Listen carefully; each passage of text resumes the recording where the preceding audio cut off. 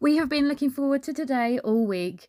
We've just about survived another week of the summer holidays, and today we are off to see our new kitten, Stanley. I read that when you bring your kitten home for the first time, if you bring a blanket that smells like its family, it will be more settled at home. So we took him a blanket and we got lots of snuggles too. Seeing Pearl with her new kitten was just heartwarming. She is such a natural. After that, we headed into Worthing for some lunch and got caught in a freak rainstorm. We were soaked. Where is the summer? We headed to Perch Pizza, which is brand new, to try out their menu, and it was delicious. Frozen rose pizzas to die for, burrata, all of our favourites. We loved it, and the kids ate loads too, which is always a win. Of course, there was always room for pudding too.